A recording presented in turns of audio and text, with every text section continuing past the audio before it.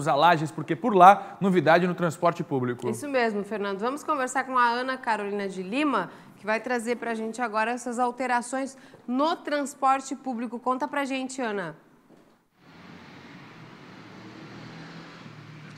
Boa tarde novamente. Então, a empresa responsável pelo transporte público aqui de Lages anunciou novas medidas que devem reduzir o impacto econômico que a empresa está tendo por conta dessa parada, né? Por conta da, da pandemia, a empresa já está alguns dias fechadas e já está sentindo um grande impacto econômico. A primeira medida, eles deram férias coletivas para os mais de 200 colaboradores aqui em Lages. E quando eles retomarem aos, aos trabalhos aqui na cidade, eles devem estar aderindo a um dos projetos do do governo federal. Há uma medida que o ministro Paulo Guedes anunciou recentemente em que vai estar auxiliando economicamente esse tipo de empresa em todo o país. O que vai acontecer? O salário dos funcionários desse tipo de empresa serão pagos 30% pela empresa e os outros 70% pela União. Essas são as primeiras medidas que a, que a empresa de transporte público aqui de Lages anunciou. A previsão do governo do estado é que as empresas retomem já no início de maio, né, no dia 1 de maio. Mas essa ainda não é algo, isso ainda não é algo confirmado. Então a empresa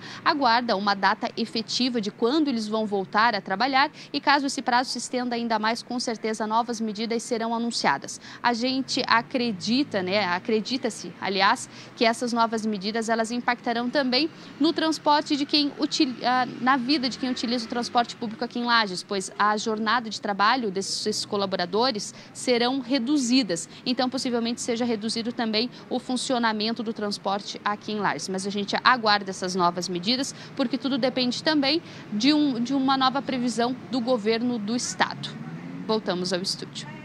Obrigada, Ana, pelas informações. As empresas né, vão anunciando medidas se adequando aí diante dessa pandemia. Agora, então, a gente soube dessas férias coletivas aí e outras medidas de adequação no transporte coletivo de Lages. O que já acontece também em outras cidades, até porque as empresas estão com prejuízo. O secretário acabou de falar aqui que não tem previsão, de fato, para antecipar o retorno dos ônibus.